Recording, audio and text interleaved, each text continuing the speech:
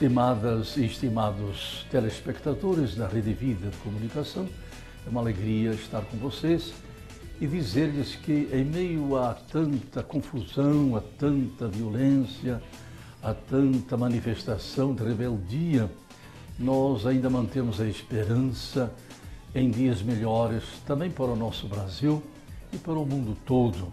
Então, nós queremos ainda esperar e quem espera sempre alcança. Que a Mãe Aparecida nos ajude a manter a esperança.